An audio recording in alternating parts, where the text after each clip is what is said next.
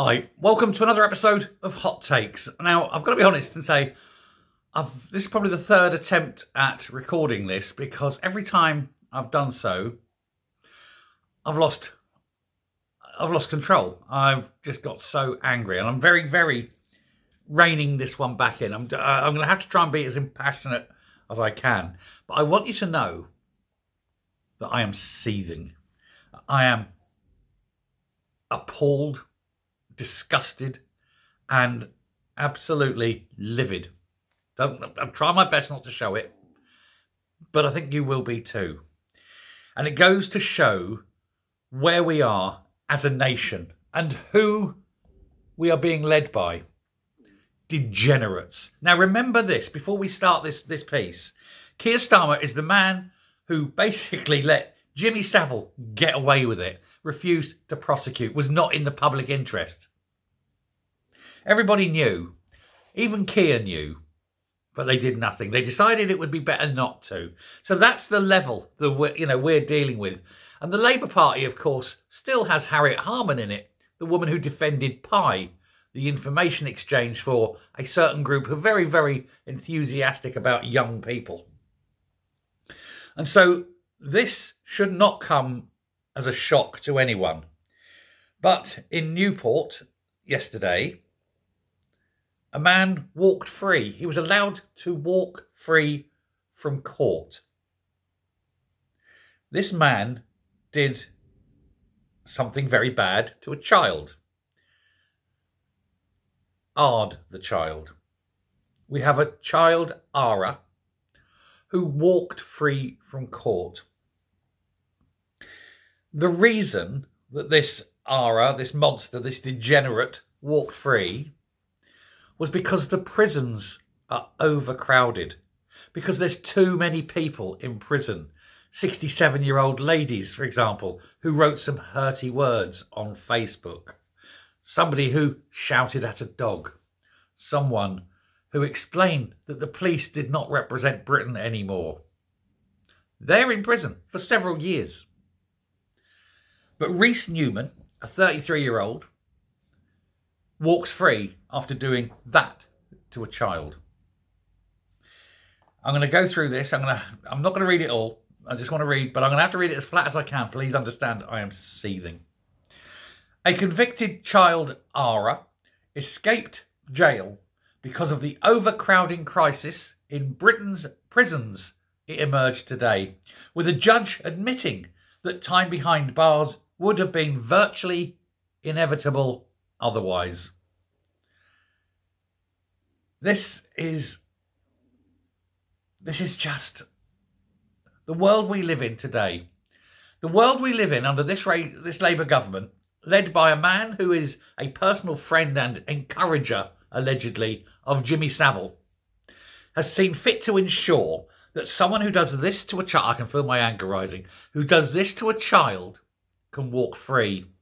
But anyone who says anything hurty or bad about him, his party, or the way he's running this country goes to jail for years. People of Britain, is this how we want to live? Is this the world we want? We want a world where if you speak your mind, give your opinion, express your political view, you go to prison for two years. But it's okay if you do the most degenerate things to a child because it seems to be okay in Keir Starmer's world. Keir Starmer's all for this. Keir Starmer is happy that this man is now out walking the street, isn't he? He's not asking him to be treated firmly by the courts. He's not asking that he goes to jail for a long time. No, only people who use hurty words or who uh, dislike his government and its policies go to jail. And it's going to get worse.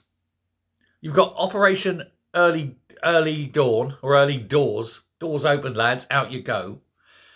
And they're going to be releasing murderers, aras of women, aras of children onto the streets. People who've done GBH, people who've done horrific crimes onto the streets.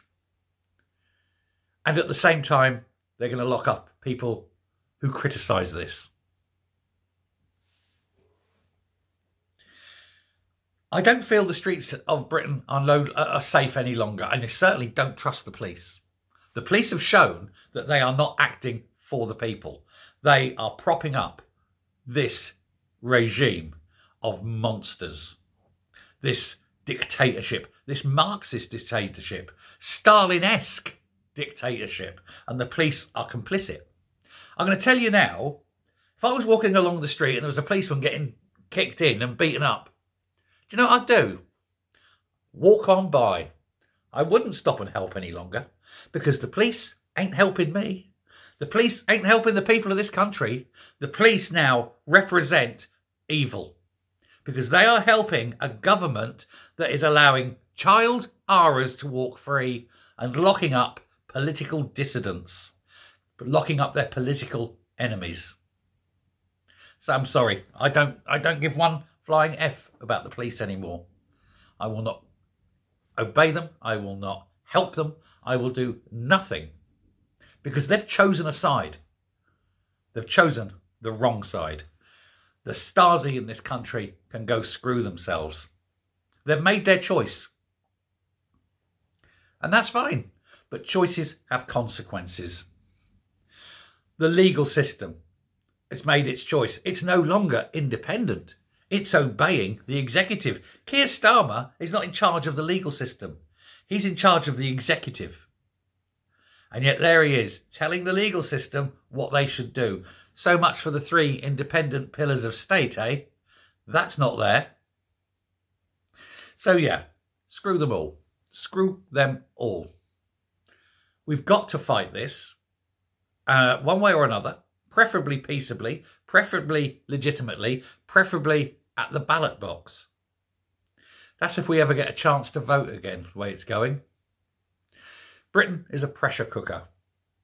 Things like this push us down further and further. The pressure builds. Britain is bubbling, it's boiling. And then things like this happen. That pressure cooker will blow. And then what's he going to do? Sending the army, shooting Brits on the streets, I wouldn't put it past him. He is Stalin reborn. You cannot accept what he's doing to this country. He's 50 days in, and Britain has changed beyond all recognition. And we have to fight for our future, fight for our very survival as a nation, as a culture because he's determined to destroy it all. And letting child Aras out on the street is just the start. Wow, I got through to the end without losing my rag. Well done, me. I am angry. Thank you very much. Goodbye.